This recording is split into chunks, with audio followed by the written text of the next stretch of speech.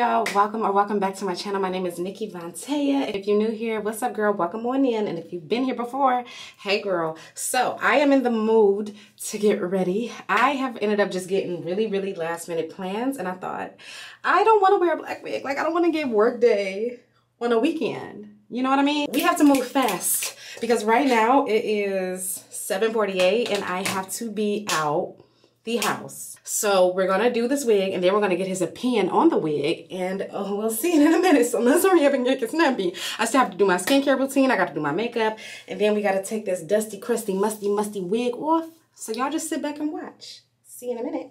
So this is not one of those videos, like, you know those little TikToks where they be like, I'm in a rush, I gotta hurry up, I only got five minutes to get ready. No, babes, we had 30.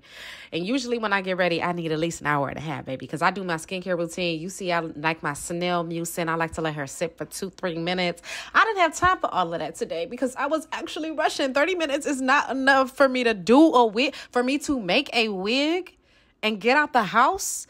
Yeah, and do my makeup. Yeah, it was just, I was on crunch time, okay? And so I took off my wig. Y'all know I didn't shave my hair. You can see the little stubbies popping through.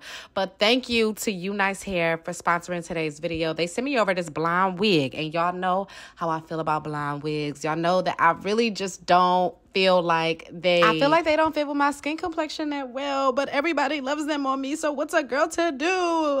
and I was also hanging out with my best friend today and he loves me in blonde hair, so I wanted to make sure that I like surprised him a little bit, you know, make his day with with a new hairstyle by me, for me, from me. So I always get comments on affordable wigs and wigs that like are easy to put together and this is a 6 by 4 I think wig. I'll leave all the wig information in the description box, but I think that that was really the reason why this wig came together so fast. So I'm showing y'all like how the wig looks. I put my makeup on because y'all know I don't try on nobody's wig when I put my makeup on. I'm sorry. If you're like me, let me know. And you can see the wig is set up like a usual wig, but they have the adjustable straps. I can't tell you, I hate when companies do not put the adjustable straps on the wig because that is what makes your wig really stay down. Like y'all know I don't use glue.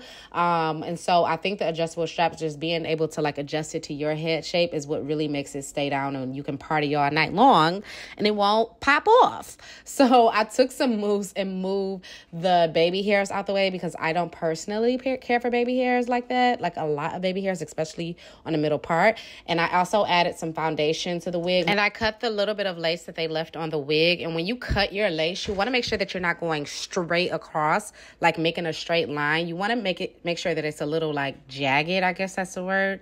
And then I went in and I used the only thing that I use for quote unquote glue, which is that Ebin hairspray. And I spray it across um, the lace and I put the band on. And you see how easy that was? The wig is done we're done with the wig. I could actually just step out the house and be ready to go. My makeup is on, the wig is done, and all I had to do was flatten it out because I didn't have time to curl it. I didn't have time to do anything else. So y'all know I love my BioSilk to make sure my hair is extra shiny and glossy, especially when I'm wearing straight hair because I want like the bone straight, like silk press type of look. And especially if we consider the price, I think that this hair quality is really good, especially knowing that this is blonde hair. Blonde hair is one of the hardest hairs to like buy and actually like what you're buying because I don't know, some people just don't get it right.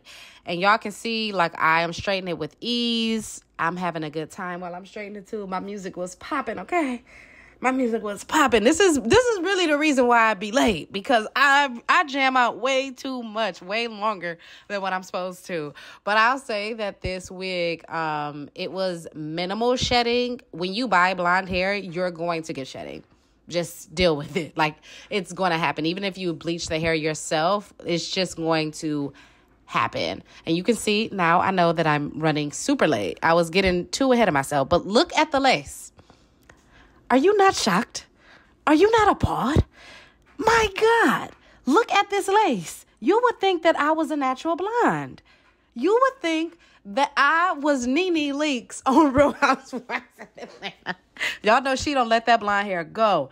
This, I don't know, this might be my color. What do y'all think? It's giving this is what I mean when I say weekend wig. Something that just takes you out of your normal Monday through Friday element, okay? She's giving long hair, middle part bust down, blonde. Be serious. And Desmond, my best friend, he loved this on me. We had a time this night, okay, honey?